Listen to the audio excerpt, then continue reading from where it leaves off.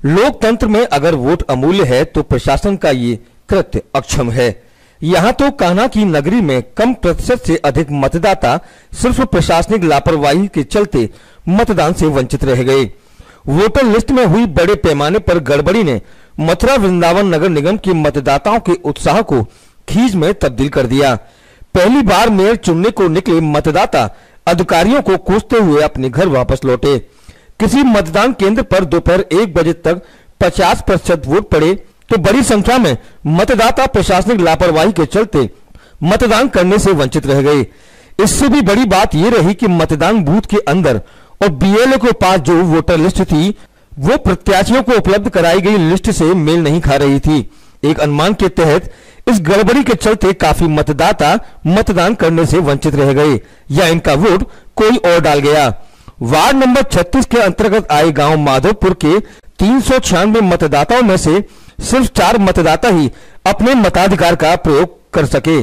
बाकी के नाम मतदाता सूची से मिला नहीं खा रहे थे।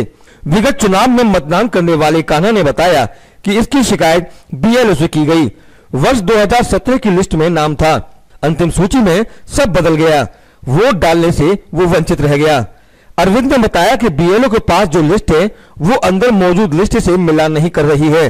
किसी का पूरा परिवार ही वोटर लिस्ट से गायब है तो अलग अलग वोटर लिस्ट में फंसकर मतदान से वंचित रह गए।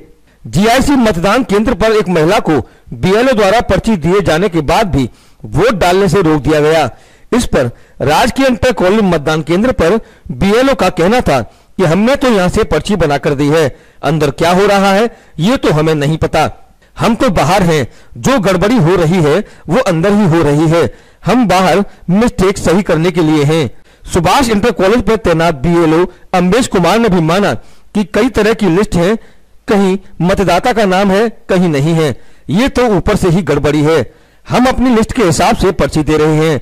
अंदर वोट डालने से क्यों रोका जा रहा है, ये हम नहीं बता सकते। एक क्या नाम है? अम्बेश कुमार। अम्बेश जी आ, आप यहाँ सुभाष स्कूल में हैं ड्यूटी आपके इस समय बीएलओ के पद पर हैं हाँ, हाँ, आप तो ये बताइए कि जैसे कुछ लोग अपनी शिकायत लेके आ रहे हैं कि बाहर लिस्ट में नाम है और यहाँ नहीं है तो इस बारे में आप क्या कहना चाहेंगे? सर इनका फिर अंदर जाके वोट तो नहीं कर पाएगा। जी। जब मिलान नहीं होगा सेम तो तो जो असंभव प्रत्याशी को लिस्ट दी गई और आपको लिस्ट दी गई वो अलग अलग लिस्ट दी गई है। ऐसा हमें जो दी गई है वो अंदर लिस्ट है। ठीक है। वही सेम हमारे पास है।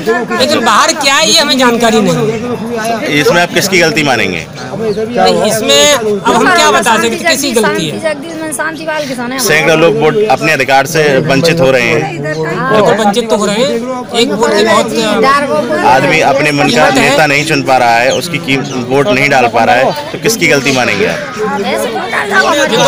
तो इस स्तर पे का प्रशासन की गलती मानी जाएगी। ठीक। है पूछूँगा क्या नाम है आपका? नाम है। वोट डालने के लिए आ रहा है पर्ची लेके तो वो वोट नहीं डाल पा रहा है क्योंकि यहाँ लिस्ट में नाम नहीं है। तो ये गड़बड़ कैसे कई तरह की वो है लिस्ट। अच्छा। तो कहीं पे नाम है कहीं पे नहीं है लिस्ट में। तो क्या बगैर पूरी तैयारी के प्रशासन ने चुनाव करा दिए? हाँ, ये तो पता नहीं मुझे तो। आप किसकी गलती मानती हैं जो लिस्ट में नाम है और नहीं हो रहा है। हम तो ये ऊपर से ही हम तो हमने तो सही किया है। ऊपर से ही गड़बड़ है। ऊपर से गड़बड़ मानते हैं। रहते हैं ऊपर से आप युवा हैं। सौ लौट के जा रहे और युवा हैं पहली बार मथुरा में नगर निगम का चुनाव हो रहा है। हाँ। तो आपने वोट डाला नहीं डाला? अभी तक तो नहीं डाला। क्या कारण रहा है? इसका ये कारण रहा है कि पर्ची मिली नहीं रही है। हमारा नाम नहीं लिख रहा नहीं मेरी मम्मी का नाम निकला है नहीं पिता इनका नाम निकला है। अच्छा, अच्छा। सुबह सुबह से देख रहा हूँ मैं निकला ही नहीं है। ठीक ठीक। नेट द्वारा भी देख लिया इसका भी नहीं है। ये मेरा फ्रेंड है। आपका वोटर कार्ड क्या परेशानी है आपकी? क्या परेशानी है? वोट की डाल में आई मैं तो। वोट डालने आई है तो आपने वोट डाल दिया? कहाँ डालो मिली है ना है पर्ची। पर्ची नहीं मिल रही? हाँ। क्या कह रहे हैं? नौकर है ही ना है ही ना है। और मैं डाल के जाती हूँ साल लगता है।